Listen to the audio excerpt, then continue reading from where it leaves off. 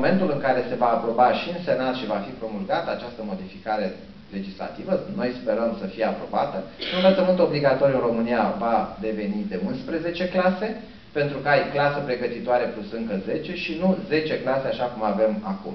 Și dacă în 1-2 ani vom introduce măsura ca învățământul, școala să înceapă, pardon, uh, cuprinderea în învățământul formal să înceapă la 5 ani, atunci vom avea 12 ani de învățământ obligatoriu, care înseamnă grupa mare, clasa pregătitoare plus încă 10. Și eu cred că aceasta este o uh, raportare corectă.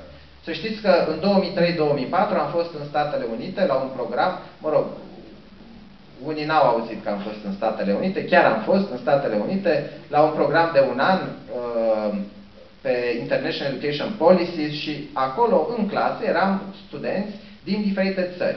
Și ne-a întrebat profesorul la una din, uh, la una din ore care este perioada de învățământ obligatoriu. Iar eu am spus cât e la noi, Uh, imediat aveam o colegă din Rusia, s-a uitat la mine destul de uh, contrariată, pentru că la ei ob există obligativitatea a 12 clase. Și repet, când spun 12 clase, nu înseamnă liceu, ci înseamnă o pregătire la nivel de grădiniță și apoi Ok. Deci eu cred și sunt optimist, nu înseamnă costuri suplimentare, nu înseamnă uh, modificări semnificative, înseamnă doar mai multă atenție pentru a introduce această uh, grupă mare la grădiniță obligatorie.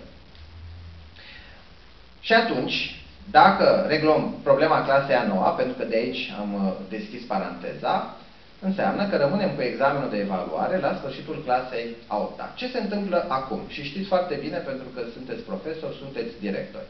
Noi avem evaluarea elevilor ca evaluare individuală. Pe vremuri am avut teze cu subiect unic, era un instrument prin care puteai să vezi cam cum stau diferite școli într-o anumită măsură, dar evaluare de sistem până la clasa 8 -a nu ai.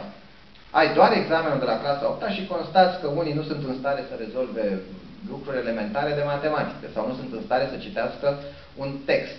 Și ajungem la conceptul de analfabetism funcțional. Știți foarte bine care este semnificația acestui termen.